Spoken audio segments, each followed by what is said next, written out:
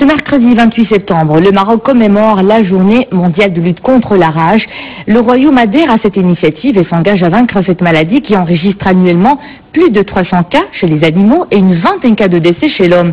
La stratégie du pays dans cette lutte a été présentée ce matin à Rabat lors d'une table ronde consacrée à cette problématique organisée par l'ONSA en partenariat avec l'Institut agronomique et vétérinaire Hassan II.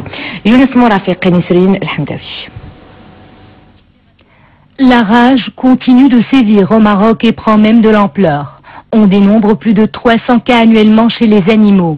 Selon les autorités sanitaires, la maladie est enzootique à l'échelle nationale avec une forte incidence au niveau de la région du Rarb.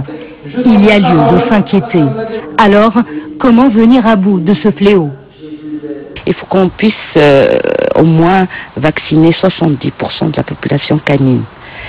Et actuellement, on arrive maximum à 20%.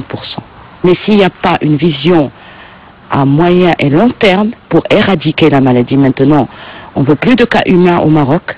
Euh, nous en avons une vingtaine par an. Euh, c'est inacceptable.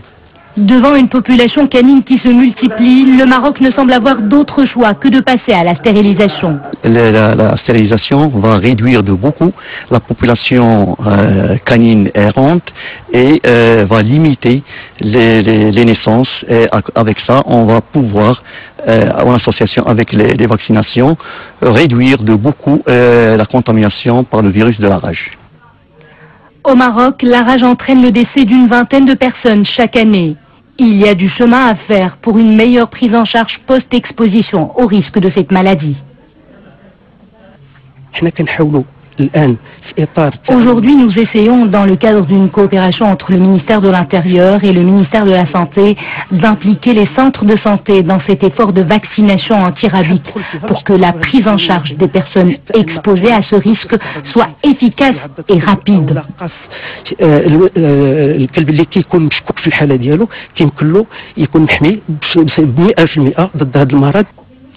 Les autorités sanitaires ont la rage de vaincre cette maladie.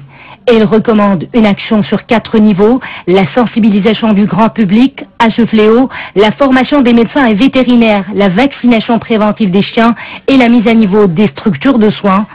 Autant de mesures à prendre pour que le chien demeure le meilleur ami de l'homme et non un danger.